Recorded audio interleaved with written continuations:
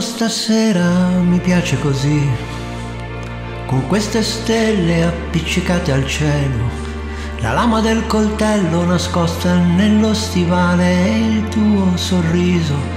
32 perle, così disse il ragazzo nella mia vita.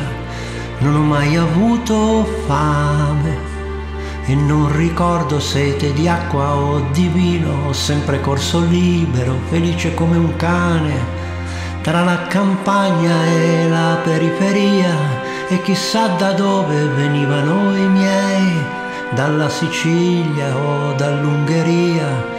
Avevano occhi veloci come il vento, leggevano la musica leggevano la musica nel firmamento.